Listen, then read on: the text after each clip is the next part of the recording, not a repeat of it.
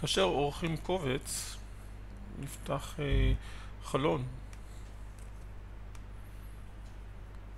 עם התוכן של אותו קובץ שאותו אנחנו עורכים. בשלב מסוים אנו עלולים למצוא את עצמנו עם מספר בלתי נסבל של טאבס.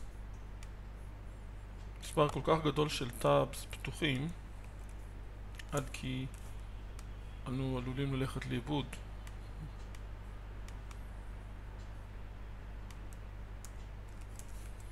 ניתן לשלוט במספר המקסימלי של טאבס שאפשר לפתוח.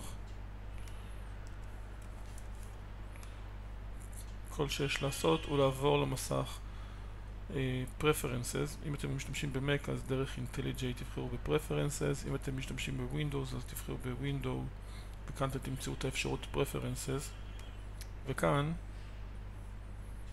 יש דרך להגביל את מספר, המק... את המספר המקסימלי של טאבס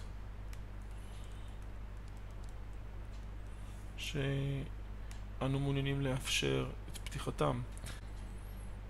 אפשרות לשלוט במספר המקסימום של אה, טאבים שיכולים להיות אה, פתוחים.